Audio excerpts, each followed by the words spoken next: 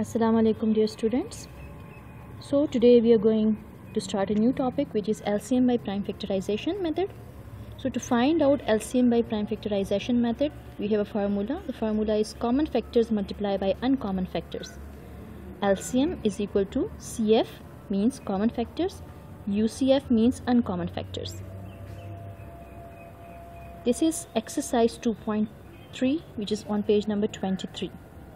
So find LCM by prime factorization method. This is the question given 20, 25 and 50. We are going to find out the LCM of these three numbers through prime factorization method. We have already done prime factorization method to find the HCF. Now here we are going to find out the LCM. So first of all we will find out the prime factors of these three numbers separately. So first of all we'll find out prime factors of 20 2 tens are 20 2 5s are 10 5 1 is 5 then 25 5 5s are 25 and 5 1 is 5 we are going to divide it till we get 1 in our remainder. Again 50 so 5 tens are 50 5 2s are 10 and 2 1 is 2 now these are the prime factors. How we are going to write it? The first number is 20 so 20 is equal to these are the prime factors of 20 2 multiplied by we are going to put sign of multiplication between the numbers 2 multiplied by 5 then 25 then we are going to put a number under the same number so 5 multiplied by 5 and then 50 so 2 multiplied by 5 multiplied by 5 now what we are going to do as you have done it in HCF as well we are going to circle the common factors. So here 2 and 2 is common then 5 is common and then 5 is common only 2 is left uncommon.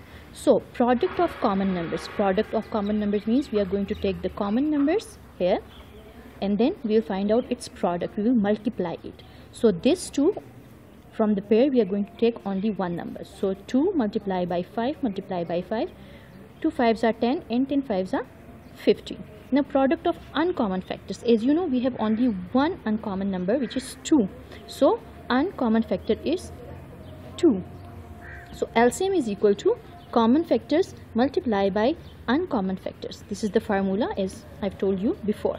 So what is the product of common factors? 50 multiplied by uncommon factors it's 2. So 50 multiplied by 2 100. So LCM of 20, 25 and 50 is 100. This is your answer. Now this is the easiest one. So you are going to do these four question in your homework. This is on page number 23 and exercise 2.3 so you have to find out the HCF of these four question by prime factorization method. Thank you